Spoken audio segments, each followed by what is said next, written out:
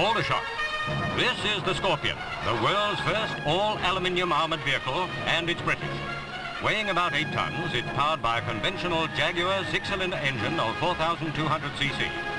Because of its lightness, the Scorpion is a real go-getter vehicle, able to cross terrain where conventionally built track layers would get bogged down. In addition, its lightweight construction makes it easily transportable by air. The Army's first air-portable tank, in fact.